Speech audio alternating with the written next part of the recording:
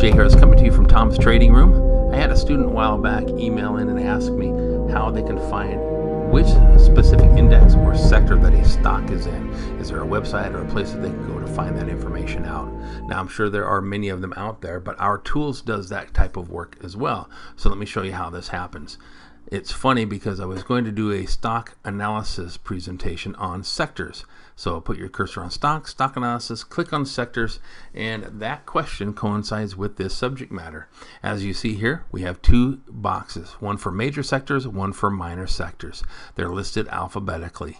Over here under sector settings, it's sorting the options analysis list by the major sectors and it's doing so by those sectors alphabetically. Now you can hide these boxes if you like by clicking on the hide major sectors and minor sectors line items. I like to bring them back, so I'll click on the show major and minor sectors line items. Down below you see that the display options, uh, the current options analysis list is for the pennies and weeklies lists. You can go ahead and change it to whichever you like there with the drop down arrow.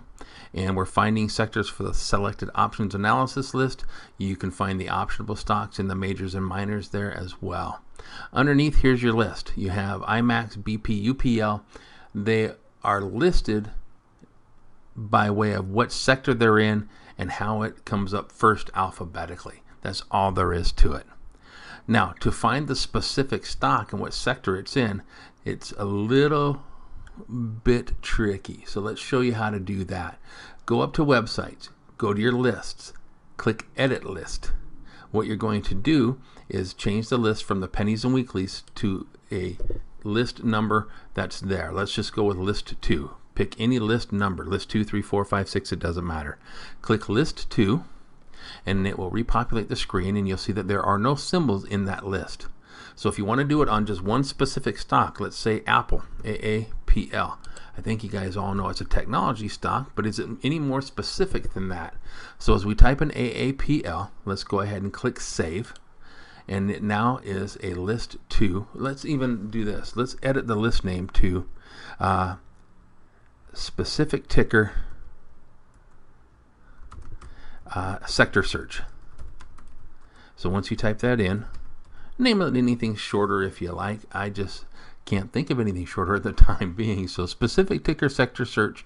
Let's go ahead and save again. And now we have the selected stock list with that name. What we want to do now is go back to stocks, go back to analysis, and go back to sectors.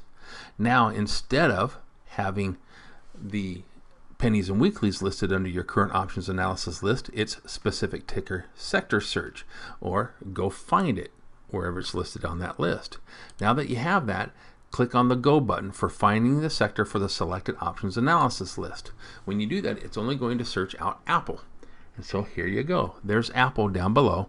It's commercial machinery and computer equipment, the minor sector computer and office equipment. So it's a little bit more specific that way.